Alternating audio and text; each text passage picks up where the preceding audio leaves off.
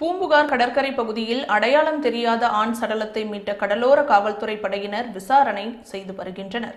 மயிலாடுதுறை மாவட்டம் பூம்புகார் கடற்கரை பகுதியில் உள்ள கண்ணகி சிலை அருகே அடையாளம் தெரியாத ஆண் சடலம் ஒன்று கரை ஒதுக்கியுள்ளது. இதனை கண்ட மீனவர்கள் கிராம நிர்வாக அலுவலருக்கு தகவல் கொடுத்தனர். இந்நிலையில் விரைந்து வந்த கிராம நிர்வாக அலுவலர் மணிமாறன் சடலம் குறித்து கடலோர காவல்துறை படைக்கு புகார் அளித்தார்.